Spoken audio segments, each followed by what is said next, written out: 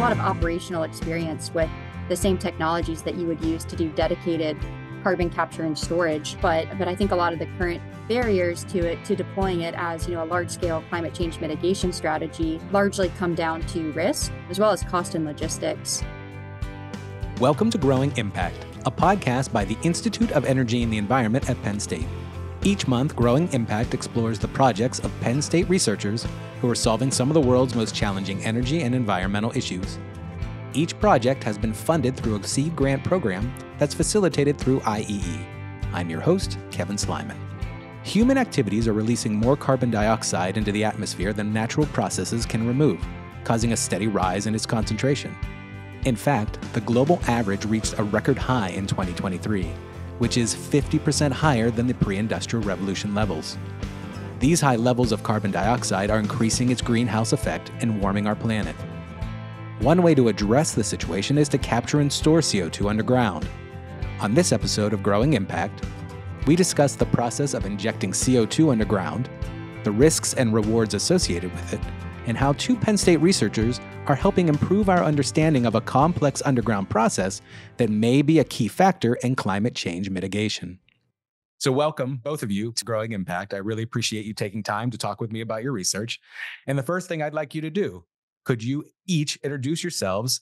So, can you tell me your name, uh, your title, and give me a brief background of your research? Thanks, Kevin. It's, it's good to be here. My name is Yashar Mehmani. I'm a, a, faculty in the Energy and Mineral Engineering Department at Penn State University. My research briefly focuses on porous materials understanding how fluids flow through them, how reactions alter their internal structure, uh, and how uh, mechanical forces may cause them to deform or, or break. And I study these processes both from a computational perspective and, and try to mimic how these processes are occurring at the microscopic scale within the nooks and crannies of the material, and try to relate those tiny processes to some observables and some measurables at the human scale. So my name is Anne Menefee. I'm an assistant professor in the same department, so Department of Energy and Mineral Engineering here at Penn State. I'm an environmental engineer by training and my research broadly is motivated by climate change mitigation. So, currently, I do a mix of experimental work, reactive transport modeling, and life cycle analysis related to um, technologies like subsurface carbon sequestration, carbon mineralization, and emerging technologies to support decarbonization like hydrogen storage and geothermal energy. Your work involves the formation and dissolution of minerals. Can you explain how these functions occur? And second, can you provide some examples that people may be familiar with? Yeah, so I guess the probably the, the easiest way to explain it is that whenever you inject or extract a fluid in the subsurface, um, you're going to be changing the chemistry of that environment in some ways. Those changes can cause minerals that are in a rock formation to dissolve, and it could cause new minerals to precipitate or fall out of solution. Probably the simplest example I can give is that if you know you dissolve a, a solid block of salt in water, it's going to dissociate into its ionic constituents. So that would be you know sodium and chloride for table salt. And then precipitation is essentially the reverse of that. So if you have a solution that is overly saturated with the ions that can form a precipitate, that solid phase can fall out of solution essentially. So I, guess a simple example of this would be you know, we live in a region with very hard water. So if you've ever seen, you know, scale buildup on pipes or faucets, that's probably a carbonate mineral that has fallen out of a supersaturated solution.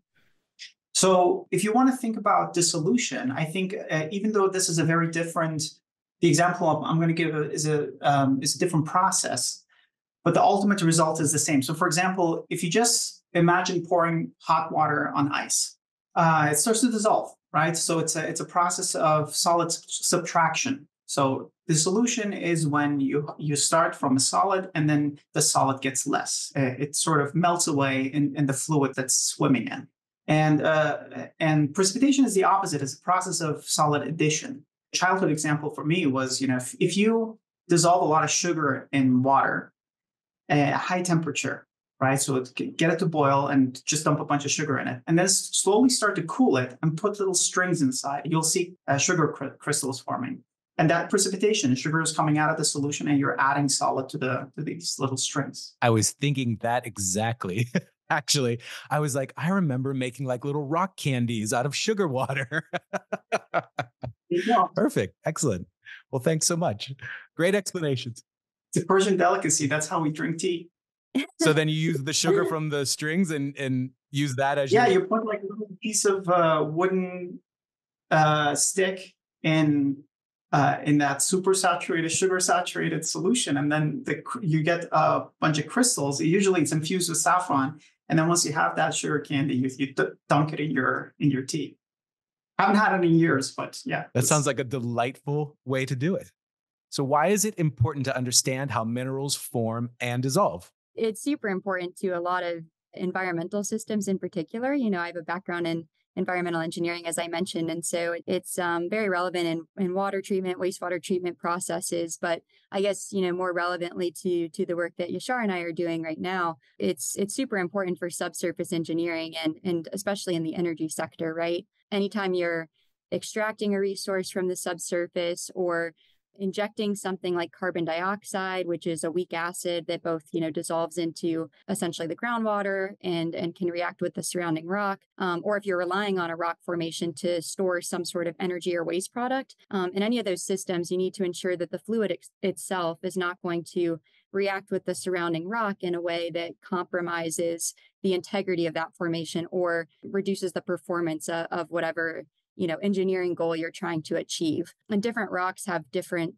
i guess sensitivities to different fluids right? Some rock formations like basalt which we can get into a bit because that's you know very relevant to the research we're doing are quite reactive with acidic fluids. So co2 for instance is a weak acid. It can spark a lot of dissolution of certain minerals.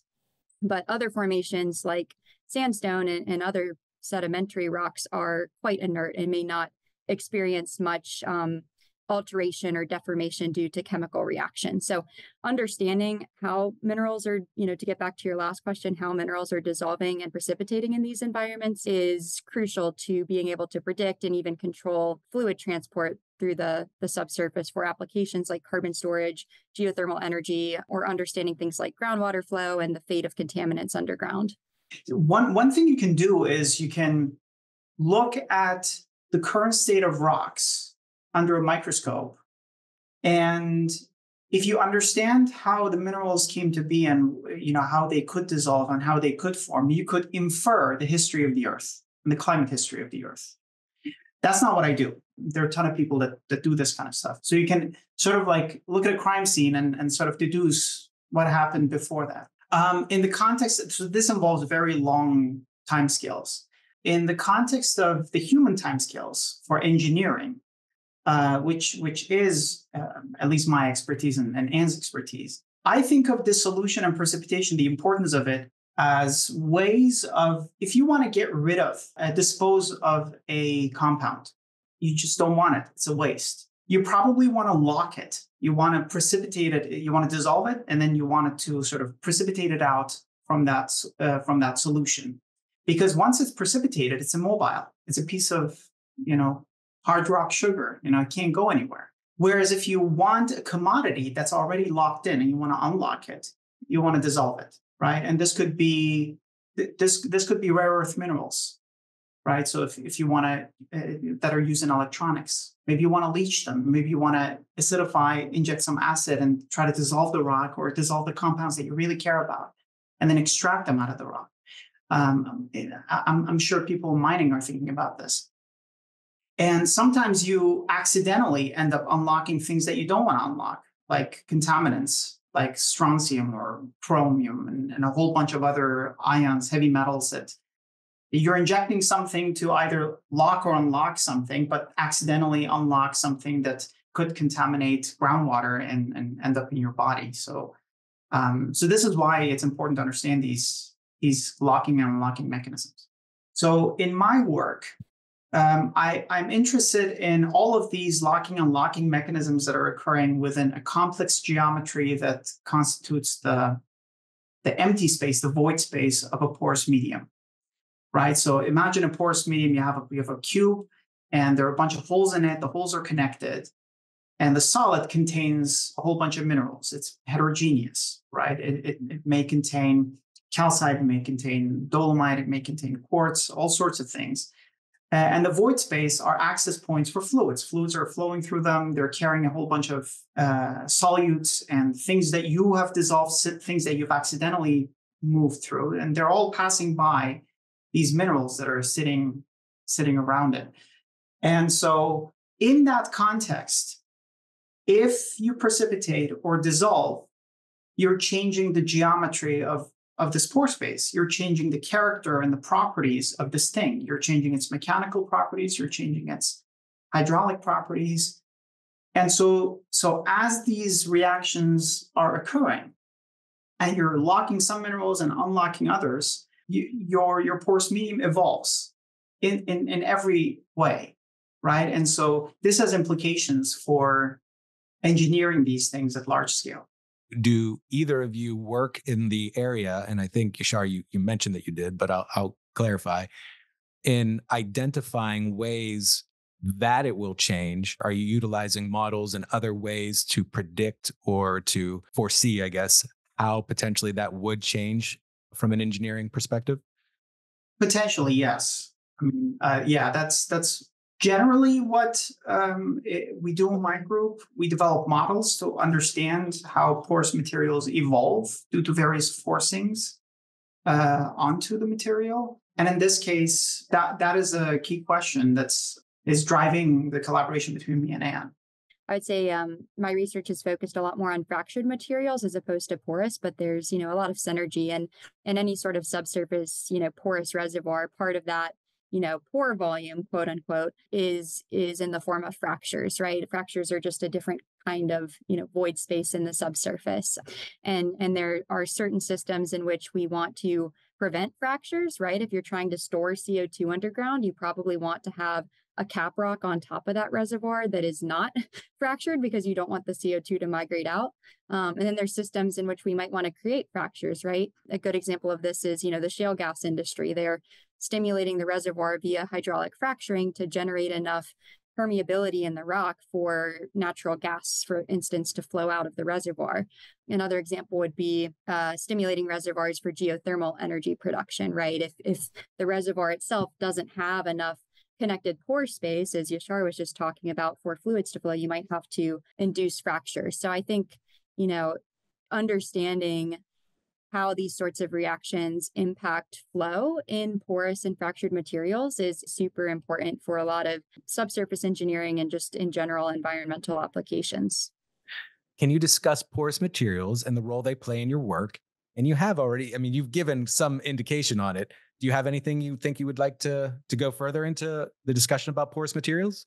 When I started my PhD, the only porous materials that I ever that, that I knew about and I focused on were rocks. I thought that that was pretty much it, right? Sedimentary rocks that were formed through the deposition of a whole bunch of stuff that that are constantly depositing at the bottom of oceans and lakes. And so I wasn't thinking out beyond that. But then over time, I realized there's hardly any, very few examples that are around us that are not porous. So, um, for example, the the prime example is that Earth itself is porous, right? So not just the, the medium depth stuff that I was working on during my PhD, but the topsoil. The soil is porous. The roots of trees are porous. If you cut the, the stem of a tree and look at the cross section, that is porous. If you wander in your building, the plaster, I don't have any plaster, but if you, if you, you know, the plaster on your walls, Kevin, that's, eh, that's porous and the bricks or the concrete that's sitting behind that is porous. The wooden doors and the wooden furniture that you have, those are porous.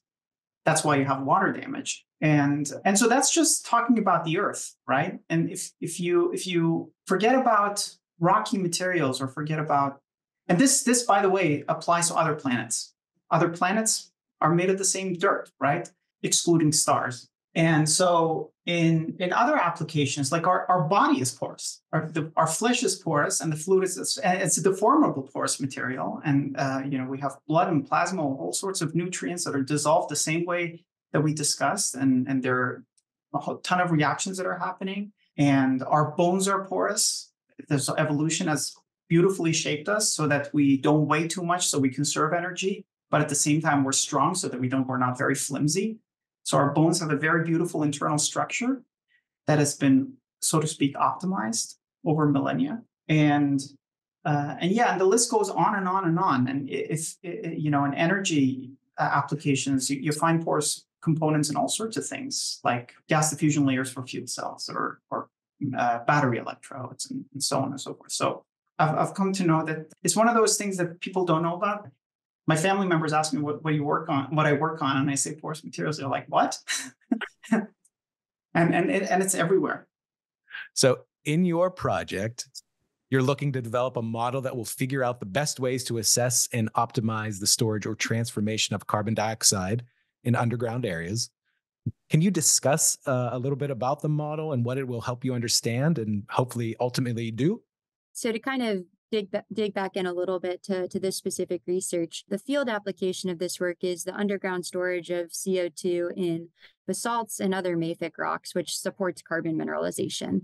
Um, so, so taking a step back, you know, we've kind of thrown out some some different geologic terms here. There are three basic rock types, right? And mafic rocks are considered igneous rocks. So think, you know, rocks that form from lava, like you would see in Hawaii or Iceland, the Pacific Northwest. Um, they tend to be very dark in color, and and essentially basalts and other mafic rocks like this are very reactive with CO2, which is I I think I mentioned before, CO2 is a weak acid.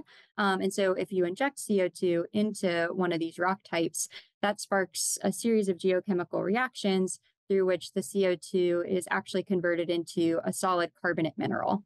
Um, so, kind of like Yashar was talking about, and so eloquently worded, this idea of locking versus unlocking things in different materials, you're essentially locking the CO2 away where it's permanently going to be stored over extended geologic timeframes, as opposed to, to held in some sort of mobile phase, kind of where it has potential to flow underground. So this has a huge advantage in terms of CO2 storage security, which has been um, one of the, the leading, I would say, barriers to increased deployment of carbon sequestration systems because you're essentially uh, solidifying it underground.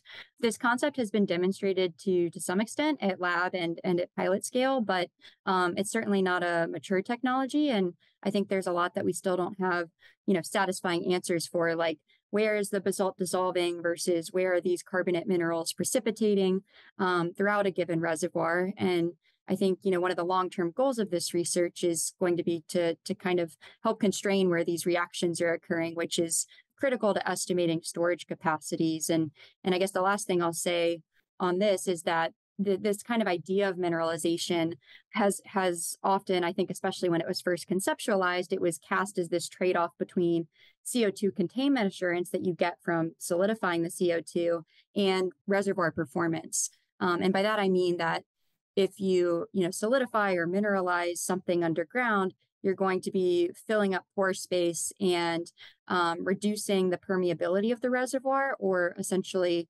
limiting your ability to continue injecting more CO2 into that reservoir. So um, there's kind of this idea that that there's a bit of a trade-off between, you know, solidifying the CO2, but also preserving permeability so that you can continue injecting it and and maximizing how much CO2 you can mineralize within a given system. So understanding kind of how these reactions distribute throughout a given pore space is is really critical to kind of balancing these two kind of endpoints. If you if you zoom out and you say, well, what do you want out of this technology? What do you want to know? Is how much can you store and how fast, right? And so, and they're kind of, as Anne was pointing out, they're kind of on two ends of a seesaw.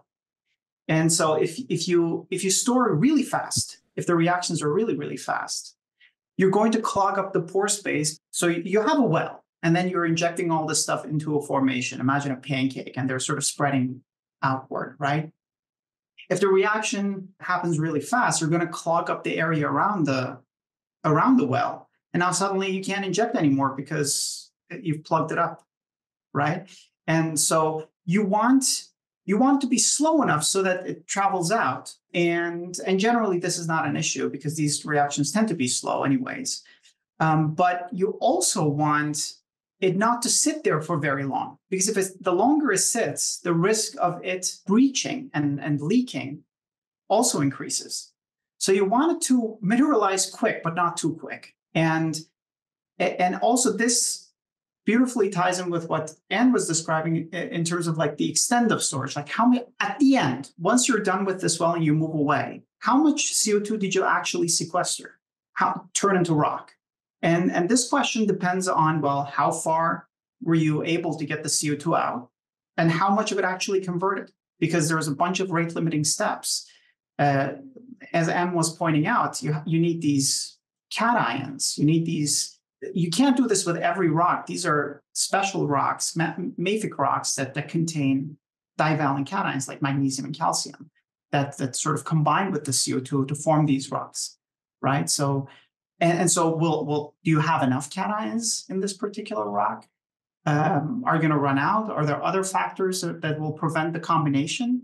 And so, yeah, those those are the I would say some of the key questions as you're working through this, as you're researching and doing experiments, how easy or difficult is it to replicate this in either a lab or in some other fashion whether it's a model or otherwise and then successfully get it to you know operate in that way in real life uh, you know in, in a real situation?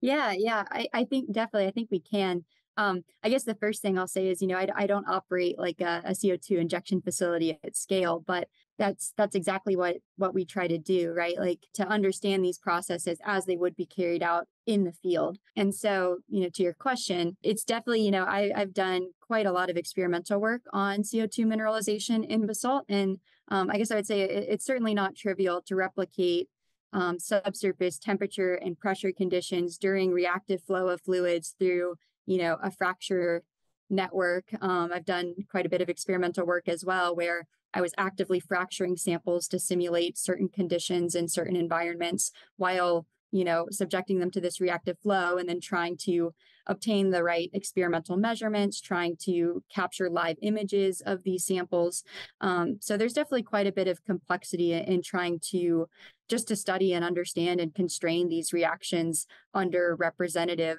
subsurface conditions but i think you know that's that's part of what makes research exciting right? It's it's doing things that that people haven't done before and and being able to add new contributions to science and to our understanding of these systems. Um, and i actually have seen in you know a lot of our experimental work and i'm sure yashar can speak to this as well um, a bit more on the modeling side but we actually have been able to you know kind of observe some of the the phenomenon that have been observed at larger like pilot scales with CO2 injection into basalt and be able to dig into things a little bit deeper and explain why they might be seeing certain things, right? So for instance, you know, why maybe they aren't seeing a loss of permeability despite the fact that their reservoir models tell them that they should be and, and we can look at things experimentally and based on the distribution of how these reactions are occurring throughout a, a fracture network or a pore network we can can start to provide some some answers to that yeah, that's that's a um, Anne answered it beautifully. I mean, the, the question that you asked, Kevin, that's an ever-present canonical problem of geosciences, right? So, if, or geoengineering. Uh, how do you connect what you do or see in a lab? And Anne has a lot more experience in the lab doing with these systems than I have. I, I haven't done any lab experiments related to this but but relating what's what you see there or even in the models earlier i said you know i do i look at these tiny scales and i model the processes at these tiny scales.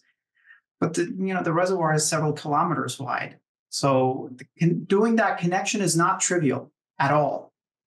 And it involves piecing together various observations at various scales uh, you know data collected at, at the field site uh, larger scales, different time scales. Maybe you want to look at geological analogs. You have all sorts of data uh, and all sorts of modeling tools or experimental tools that you could you, sh- you should utilize if you have it uh, to sort of constrain the problem as much as possible because there there is a lot of uncertainty with it. But that doesn't mean that you can't constrain it. You can. Right. And I guess I would just add one, you know, quick piggyback to that.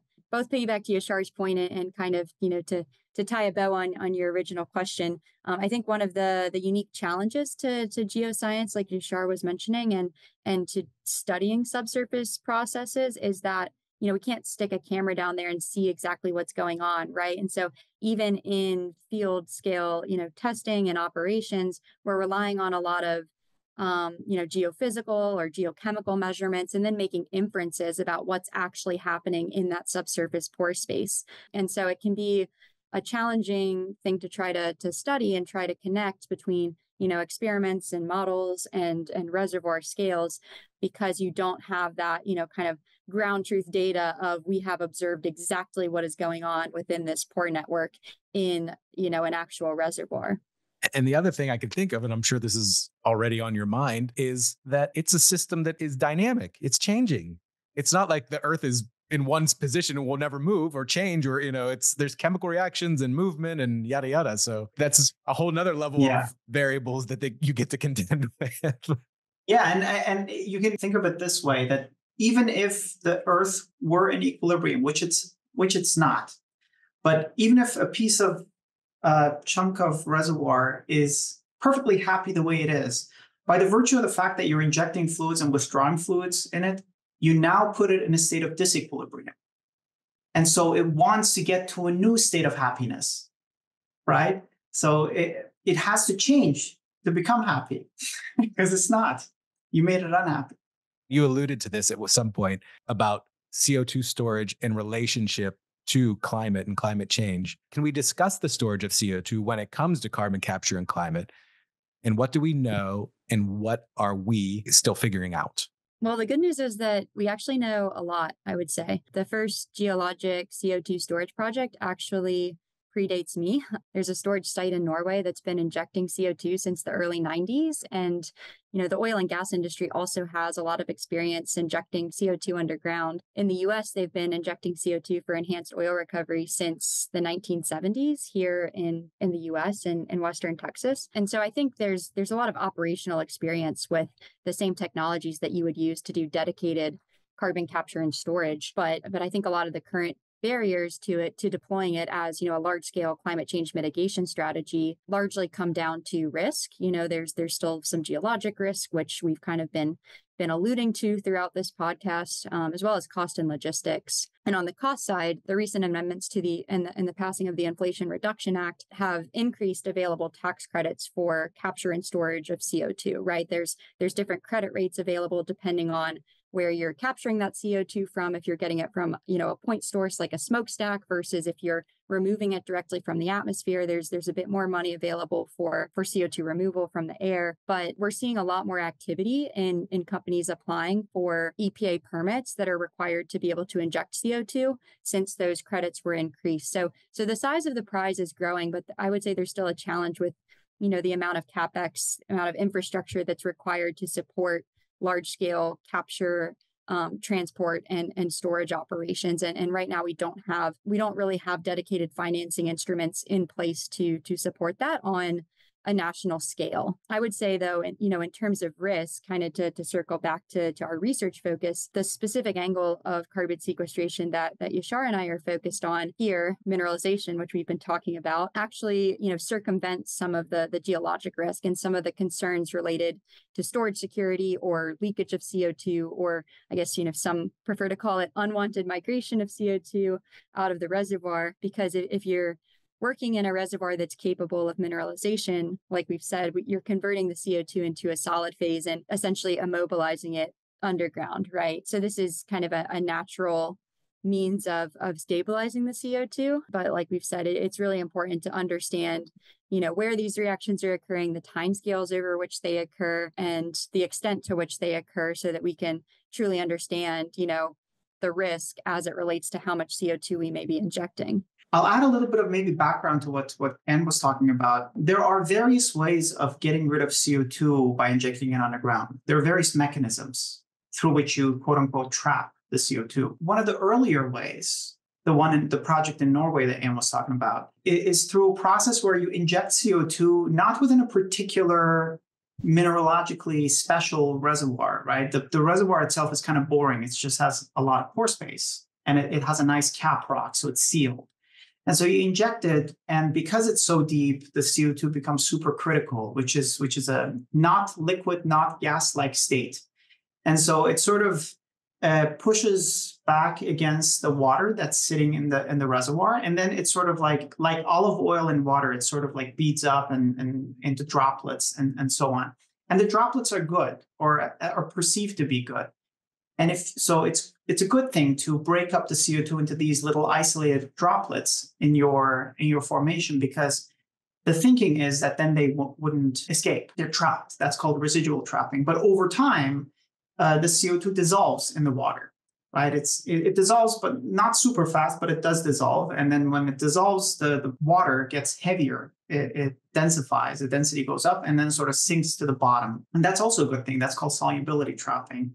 Um, but in the process, you're sort of acidifying the fluid because when you carbonate water, just like you, you have open a can of soda, it's acidic, right? So you might dissolve or you know the, uh, unlock some some stuff. So um, these are so those are called like that. That's the normal, usual um, um, CO2 sequestration mechanisms. Uh, solubility trapping and residual trapping and structural trapping. The project that Anne and I are working on is on one subset of this that's the most stable called mineral trapping. So when you convert CO2 into this mineral, and if you if you were to do this in the in the normal boring kind of formation. It would take a very, very long time to get there. The, the nice thing about these special formations, these mafic formations that have these cations that we talked about, is that this process is presumably really fast, right? And it's also once you're converted to CO2, you don't have to worry about leakage. Whereas in this other way of uh, sequestering CO2, the CO2 is still there, right? It's it's liquid. So will it mobilize if there is a little earthquake or if if if something things move uh, if there is background flow, you know, there, there are questions related to. And then, and then the CO2 also rises buoyant. It sort of sits underneath the cap rock and it may eat away at it. So there's a lot of fundamental science that is known about both all of these things. But whenever you want to scale this process up uh, to say, make a dent in climate change globally, that's when you have to have more constrained answers. You have to have more understanding of the fundamental physics. You have to not only understand them but be able to control them. And i'm not sure we're there yet right? So this this is why you know projects like this that collaborations like this between anne and i are helping to get that reliability so that the, ultimately you can scale this on on all sorts of reservoirs in, in the gigaton scale. What are some of the next steps for this project? So if, if you understand a process, right? If you this holds for anything really in, in science, if you understand a process, you you're able to predict what's going to happen right? So you, you can build a model and you can predict okay if, if you give me these situations these set of inputs or conditions this is this is what the outcome is going to be. And so in this context that we, have been we've been chatting about building a model that kind of you can reliably predict some of these processes would be is something that we've initiated and and what you know what uh, a tangible outcome of this project hopefully would be but then, the, you know, anytime you build a model, uh, you have to constrain it to experiments too. Otherwise, it, it, can produce outcomes that are completely unphysical. So there, there are, you know, and Anne's doing a lot of experiments to sort of like help constrain the model in that direction. And our hope is that once that's done, we, we could once we have a model that you can you can rely on, then you can start asking questions about optimization okay, so uh, what top, what knobs do I need to turn in which direction so that uh, I can maximize extent of carbonation, for example, or, or minimize rate of carbonation. So that's that's sort of where we're headed. Yeah, I think that was perfect. And I guess just to add in terms of, you know, applications, I I mentioned before we, are seeing kind of a flurry of activity of facilities, different companies applying for for permits to inject CO2. And and so the to, to be able to store CO2 underground, you have to obtain a permit. And, and these are regulated by the Environmental Protection Agency in the US through the um, Underground Injection Control Program. There's a separate class of wells for CO2 injection, and that's separate for, from you know existing classes of wells for injecting wastewater and injecting um, different hazardous waste streams and injecting CO2 for enhanced oil recovery, as I mentioned before, and and any other you know reason we need to inject a material underground. And part of that application process is, is a pretty thorough characterization of the target storage reservoir, as well as demonstration that you've predicted with a pretty high degree of certainty exactly where the CO2 plume is going to go, how it's going to transform, you know, how much of it is going to dissolve into the formation brine, how much of it could be held by those um, different trapping mechanisms that that Yashar detailed. You know, structural versus solubility versus residual trapping, and um, you know, in the case of basalt formations, predicting you know how much of it could be immobilized within a given time frame because that has significant implications for for storage security and storage permanence right? And so I think long term, developing better predictive tools and, and, capabilities to, to really understand what's going to happen before we start injecting CO2 has a lot of really important implications for, for regulators and for, for companies and facilities that are trying to do this at an industrial scale and success. I know the seed grant is a, a place where you're gathering data and building a foundation to move forward.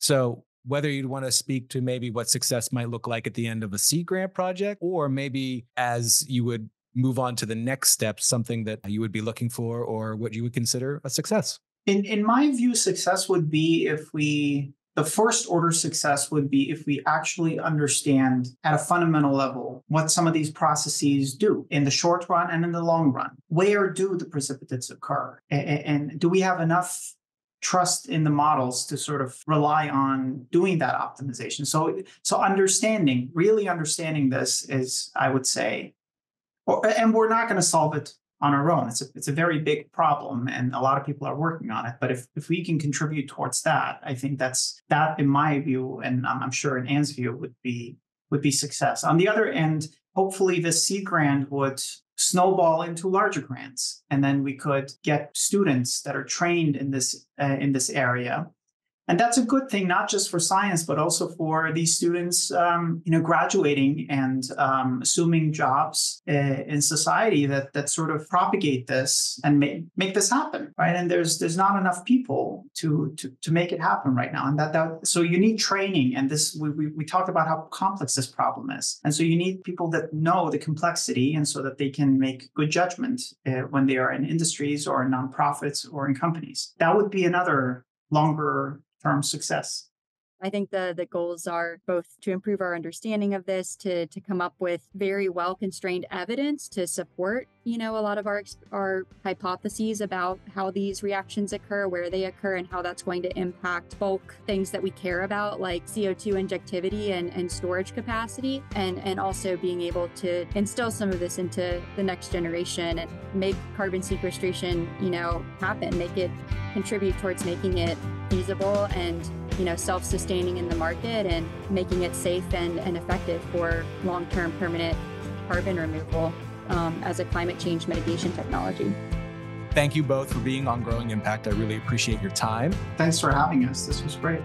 Yeah definitely. Thanks so much kevin. Really appreciate it.